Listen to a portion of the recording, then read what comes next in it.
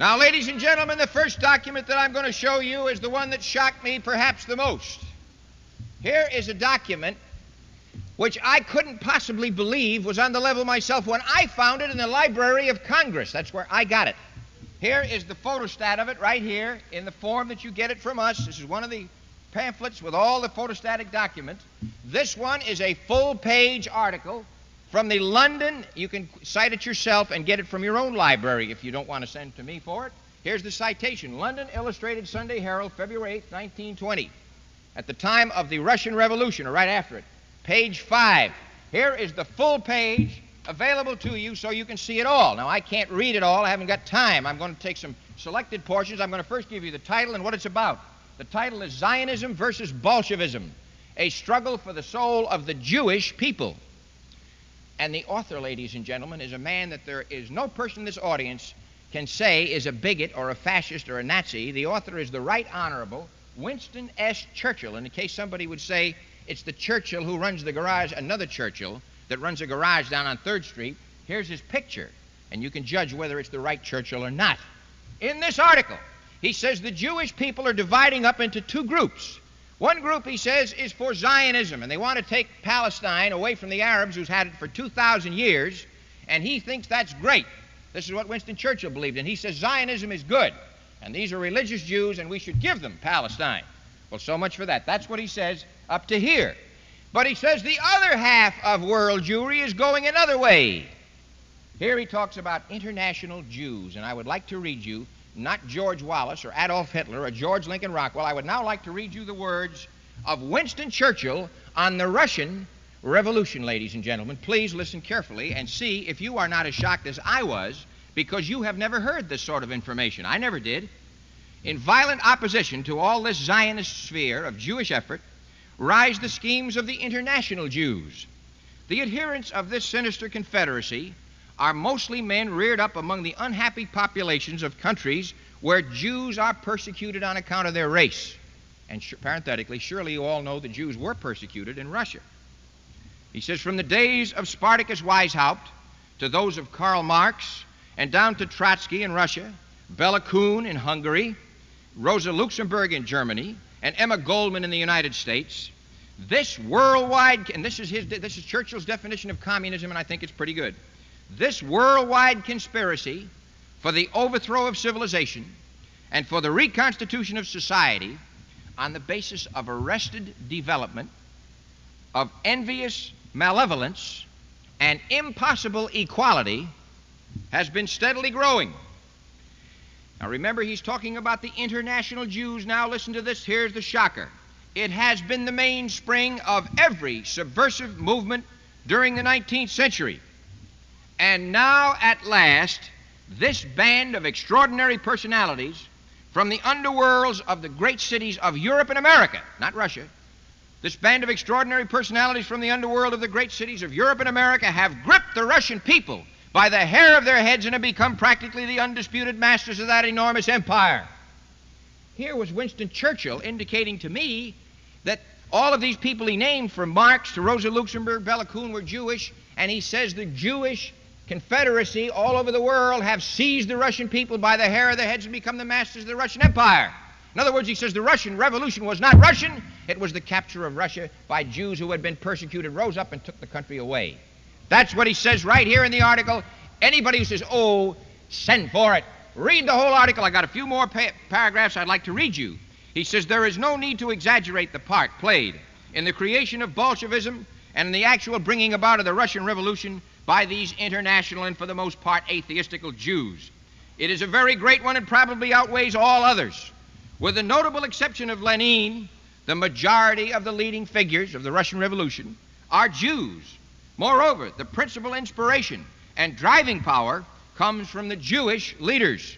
Thus, Chicherin, a pure Russian, now listen to this carefully because this is the system they use in the United States, this is the system they're using all over the world right now.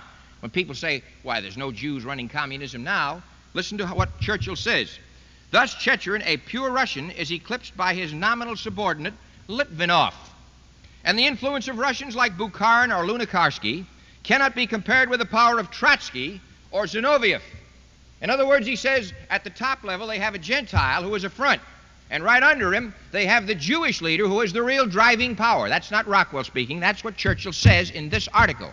Remember the two names he says? The two guys that are the real driving power? Litvinov and Trotsky.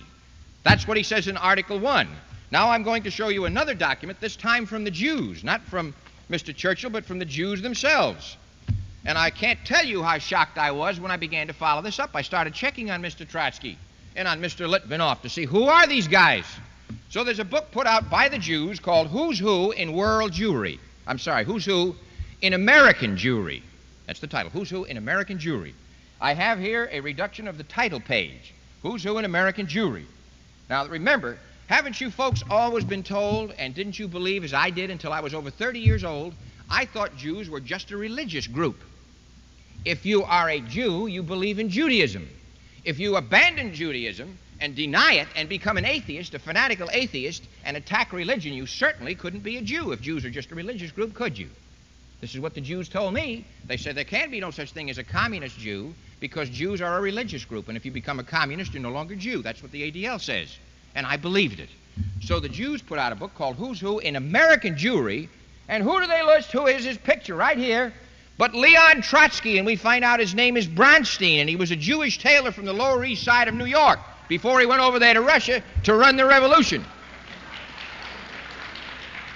There's one of them. Remember the other guy we said, Litvinov? Imagine how shocked I was to discover it. Litvinov, that sounds like a good old Russian name, doesn't it? Well, it turns out that he's one of the tribe. His name is Finkelstein. Here he is, put out. Now, listen, I, this isn't stuff from me. This is stuff from the Jews, published by the Jews as a directory of great Jews, American Jews, and they listed two leaders of Russia as American Jews. Doesn't that surprise you? It did me. Now, the next one, the next one, ladies and gentlemen, here's another one. You may say, well, that was quite a while back, because that thing was published in 1938, 1939. Here's one that just came out two years ago. It cost me 35 bucks to get it, but boy, was it worth it. It's called Who's Who in World Jewry. Now, this is the real authoritative list of the real top Hebrews. Let me give you the. Let me give you the list, ladies and gentlemen, of the Jewish organizations. I can't read them all. I'll pick a few out. There's about 100 organizations listed here as the sponsors of this authoritative list. It says of the great and biographical dictionary of outstanding and noble Jews of the world. Let me give you some of the people the American Jewish Congress, the American Jewish Committee, the American Jewish Historical Society, Anti Defamation League of B'nai B'rith, B'nai B'rith, the Hillel Foundation. I bet you got one right here. Ask them. Canadian Jewish Congress, Central Conference of American Rabbis, Jewish Theological Seminary, and there's about a hundred of them here. They say this is an authoritative book, a list of Jews. On page 29, ladies and gentlemen, what we do we find in the authoritative list of Jews? Herbert Aptheker, the chief theoretician of the Communist Party, his daughter Bettina runs the riots on the hour and the half hour out there at Berkeley. Here, ladies and gentlemen, is the proof from their own pages, from the Jews themselves, that they consider a communist atheist Jew as one of the tribe, as one of the boys, even though he's attacking religion.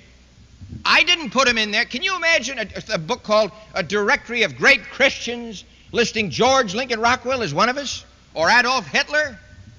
Not yet, not for a while. You will see the day that that will be in, but right now everybody's too scared. People are scared of these Jews, so they don't do it. But the day is going to come when we'll list our good boys in there too. Now, before I go on from this subject of communism and Jews, I want to show you another document here.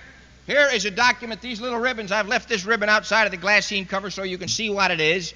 This one is a document obtained from the U.S. archivist, Wayne C. Grover, signed, sealed by the United States. To fake this up would be forgery. It would be a prison offense. Here is a intelligence report by your G2, by your intelligence people, right after the Russian Revolution, to the American government and to the War Department and the President as to the nature of the Russian Revolution. Remember, this is one of the documents you can get from me and study for yourself and see whether I'm misquoting it or whether it's misrepresenting. I would like to read one section here where it says the composition of the first Russian government, the commissars and the first Soviet. Here is what the it shows, the intelligence report shows it was made up of. This is the government of Russia right after the revolution. It was made up of two Negroes, 13 Russians, 15 Chinamen, 22 Armenians, and more than 300 Jews. Does that sound like a Russian government to you?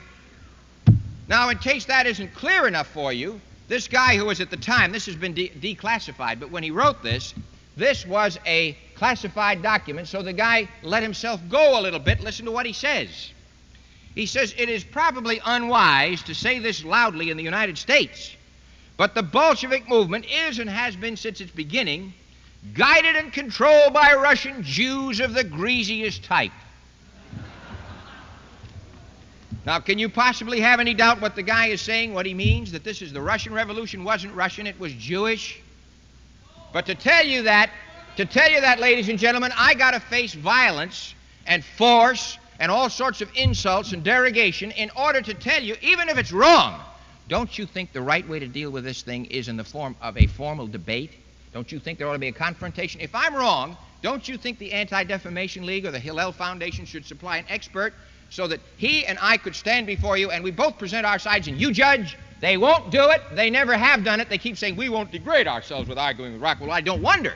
When I've got documents like their own who's who and world Jewry, what are they going to say? That's why they tell you they wouldn't degrade themselves to come up here. They won't use the old fashioned American method of con- confrontation. I accuse them, and they keep calling me names. They won't discuss the facts. All they keep doing is trying to punch me in the nose, calling me an MFer like out front here and so forth. Ladies and gentlemen, nobody's going to stop me. Nobody's going to stop me from preaching what's in here because he threatens to punch me in the nose or because he calls me a dirty name. I am not convinced because somebody has the brilliance to be able to say MFer to me that he's a genius and has better facts than I do. If that's true, all these guys down here in Watts are the smartest guys in the country because they use that word all day long. Решение о национализации этой библиотеки было принято э, советским правительством, первым советским правительством, э, и членами его являлись примерно на 80-85% евреи. Но они же, руководствуясь ложными идеологическими соображениями, шли тогда на аресты и репрессии и иудеев, и православных, и представителей других конфессий, мусульман. Они всех гребли под одну гребенку. И вот эти идеологические шоры и, э, и ложные идеологические установки,